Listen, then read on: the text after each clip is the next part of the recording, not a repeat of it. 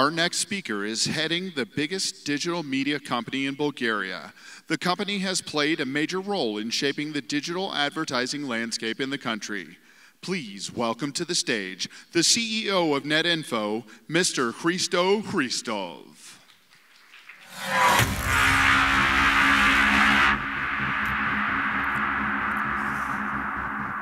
Hey guys.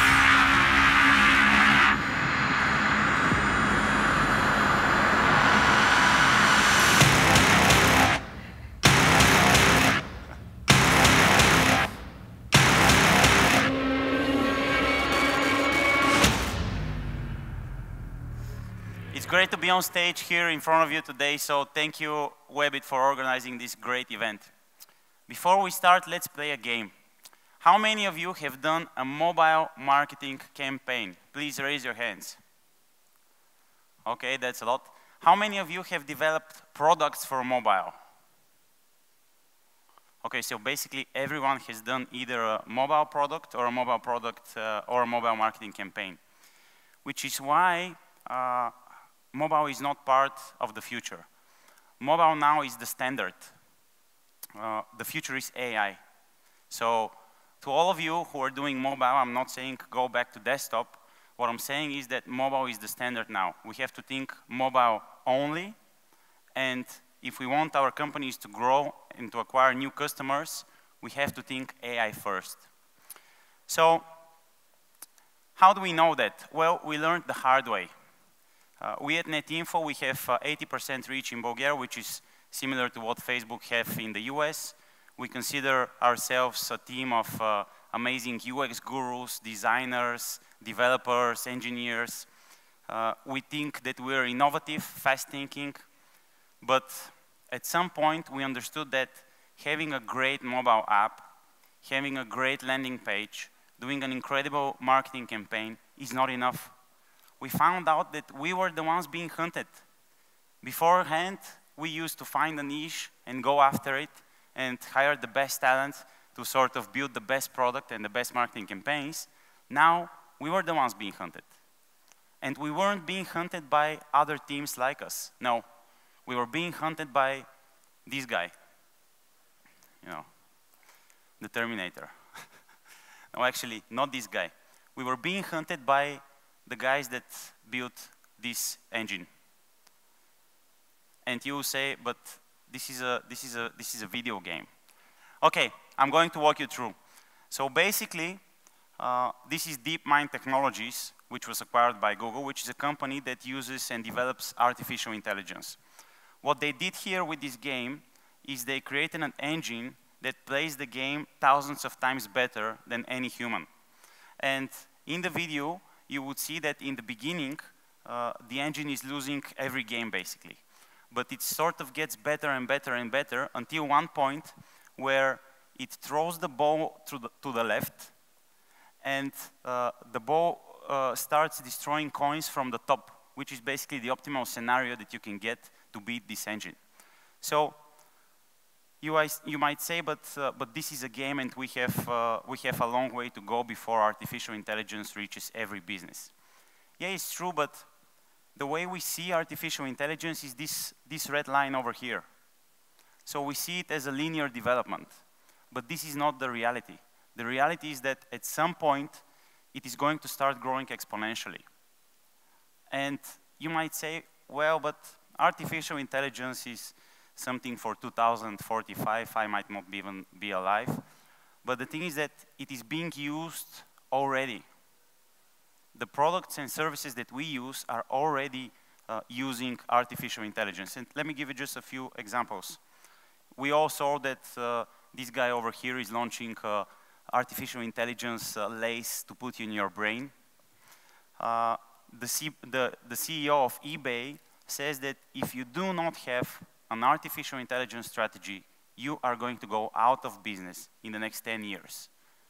He's saying that uh, we are all so annoyed when we buy something for our uh, wife, for example, or for our baby, and we get retargeted all over the internet for the same diapers or whatever. So he's saying that the consumer journey is not great right now, and the only way to fix it is to artificial intelligence. We saw the Google guys saying that the level of uh, AI investments is at its uh, all-time uh, high. So you see that uh, RankBrain is now determining the search results. This is not something which Google have deployed in a beta. This is not something which they will deploy in like two or three years. This is happening right now. Artificial intelligence is determining what your, uh, uh, when, where your result will rank. And another, another field of uh, AI, which is really, really interesting, is, uh, is this guy over here. So when you see this, this character, what do you think of? Sorry? Troll, yeah, it's a troll, but what do you think of? We think of fake news, obviously, and of trolls who are like trolling the internet space. So we believe that through AI, and actually it's not belief, it's already been done, there is a tool which can rank the level of toxicness of the comments. So in our team, we tried it, and uh, this is from one of my previous presentations. It's actual feedback from the audience. As you can see, uh, Christy is a very interesting speaker, only 2% toxic. Does this keynote present any interest to you? 6% toxic. But he presents the topic in a very dull way, 23% uh, toxic, and Hristo is an idiot, 97% toxic. So you can try this yourselves. It's perspectiveapi.com. So it is an open source platform that you can plug into your uh, content sites, landing pages, forums, whatever classifieds, and it can rank uh, actual online conversation and determine how toxic they are. And after that, you can basically cut them off or, or do something else. It can help improve uh, facial recognition, which uh, is already happening. And I think this is the way to go forward. Now, again, when we think of AI, it reminds me of 2011 and the smartphone applications. If you remember, the, uh, the App Store was launched 2008. And if you look at the chart, uh, if you look at the chart, in 2011, there were not more than 10 billion app downloads. And it was already three years into the App Store. So the App Store was there, the technology was there, but we had not adopted it. And if you weren't developing applications at this stage here, and you started developing them at this stage here, there is a very big chance that your app will never be downloaded or that it won't have any significance on your business. So what I think is that we're in the early stages of, uh, of AI, and that unless you get it on board and uh, it becomes a strong part of your strategy as a company, you will face you will face the time where everybody and every business is using it, and you will be like uh, sort of wasted. And to prove it, it's for the last four years the investments in artificial intelligence. They're only growing and they're only getting uh, getting higher. So we have prepared at NetInfo a to-do list. Uh, if you want to stay relevant in uh, the field of business, no matter what business you are in, no matter if you're a retail business, no matter if you're uh, biohealth business, no matter if you're a digital business, if you're digital, then it's really disastrous. Uh, but you must do this as a top priority in your company. It cannot happen like between the lines or after I get this project done, this project done, this project done, then I invest into AI. No, it has to become your top, top, top priority in the company. You must hire the top people, the top data scientists, the top developers, the top engineers, the top logical thinkers, uh, and put them on the project. And uh, number three, you can look out for tools out there.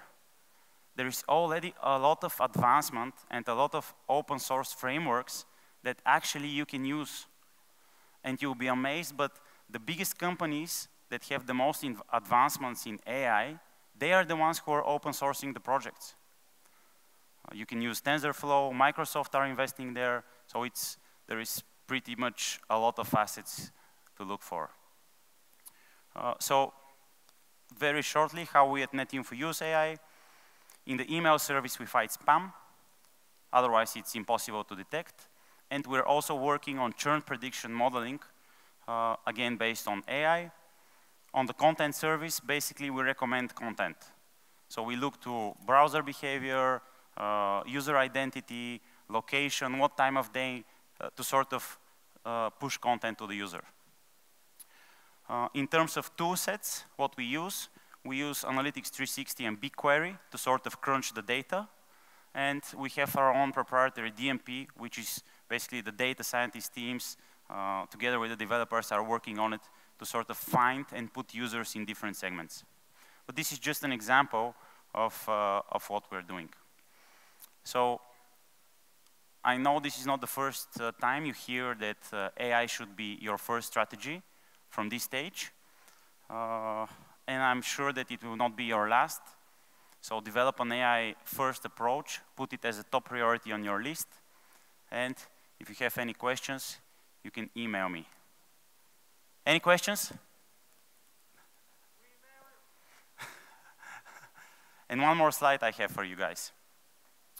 Uh, I saw this, uh, this piece of uh, content uh, recently, and it seems that the Japanese, they had developed such a powerful tool for artificial intelligence that they have enrolled it in one of their literature contests. And it reached the finals. So can you imagine? If you think that, if you think that our jobs are safe because we do whatever creative involved in the world, if, we, if you think that your industry is not going to be impacted by AI, you're wrong. These guys are starting to write novels. So I say it's time to prepare for, uh, for this amazing, amazing technology. It's not so difficult, it's not so complicated if we have it as a top strategic priority. Thank you very much.